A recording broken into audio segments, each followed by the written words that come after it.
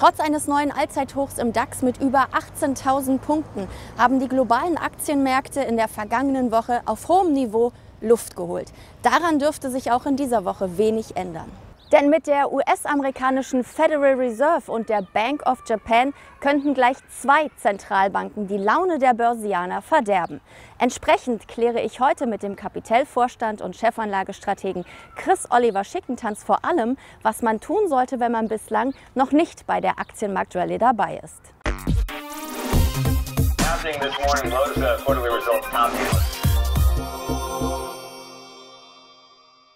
Herr Schickentanz, in dieser Woche blicken die Anleger vor allem auf die USA. Die Federal Reserve trifft sich zu ihrer geldpolitischen Sitzung. Was erwarten Sie von den US-amerikanischen Währungshütern? Ehrlicherweise relativ wenig. Die Zeiten für Zinserhöhungen sind vorbei. Die Zeiten für Zinssenkungen dagegen sind noch nicht gekommen. Und von daher gehe ich davon aus, dass die Federal Reserve dass die US-amerikanische Notenbank die Zinsen unverändert belassen wird und auch an ihrem Wording relativ wenig ändern wird. Heißt, ihre zukünftigen Handlungen sind datenabhängig und die jüngsten Daten, die waren alles andere als erfreulich, weil sowohl die Verbraucherpreisinflation als auch die Erzeugerpreise im Februar erneut einen kleinen Satz nach oben getan haben. Welche Themen stehen in dieser Woche sonst noch auf Ihrer Agenda? Noch einige weitere Notenbank-Sitzungen. Bereits morgen am Dienstag tagt die Bank of Japan. Und hier wird es spannend, denn Japan ist ja das einzige westliche Land, in dem es immer noch Negativzinsen gibt. Und das, obwohl die Inflation zuletzt deutlich angesprungen ist und auch die Lohnentwicklung sehr ordentlich ausfällt.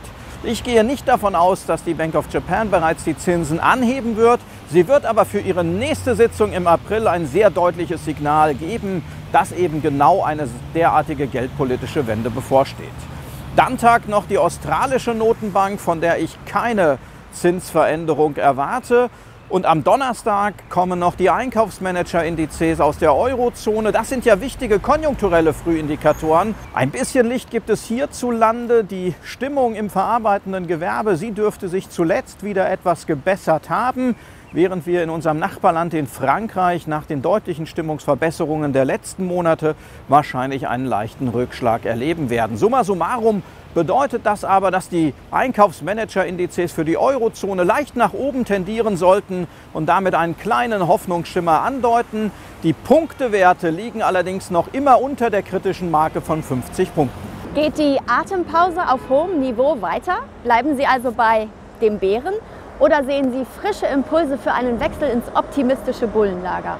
Für die laufende Woche bleibt es noch einmal beim pessimistischen Bären, aber gar nicht so sehr, weil ich negativ in die Zukunft blicke und davon ausgehe, dass die Aktienmärkte spürbar einbrechen, sondern weil ich nach der wie an der Schnur gezogenen Rallye seit November schlichtweg davon ausgehe, dass die Atempause, die Konsolidierung auf hohem Niveau noch ein Stück weit anhalten wird. Das ist gesund und äh, legt von daher den Boden für die nächste größere Aufwärtsbewegung. Was mache ich denn, wenn ich noch nicht in Aktien investiert bin? Abwarten?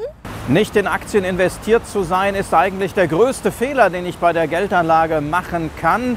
Denn die Aktie ist auf lange Sicht das renditestärkste Anlageobjekt, das es gibt. Von daher sollte ich eben immer einen ordentlichen Anteil meines Vermögens in Aktien investiert haben. Wie viel? Das hängt natürlich von der persönlichen Risikoneigung ab. Das ändert aber natürlich nichts für den, der nicht in Aktien investiert ist. Jetzt alles auf eine Karte zu setzen und in einem großen Rutsch nahe der Allzeithochs in die Märkte zu investieren, halte ich für verkehrt. Andererseits noch länger zuzuwarten kann auch gefährlich sein, denn keiner weiß natürlich, ob die Atempause, ob die Konsolidierung an den Aktienmärkten vielleicht irgendwann auch mal zu einer Korrektur führt.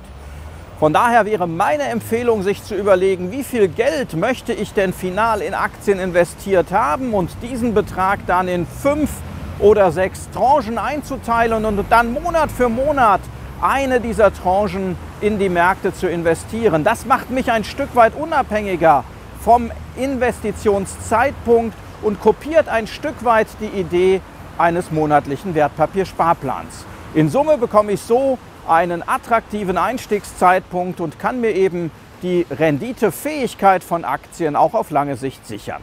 Vielen Dank, Herr Schickentanz. Und Ihnen alles Gute bis zum nächsten Montag.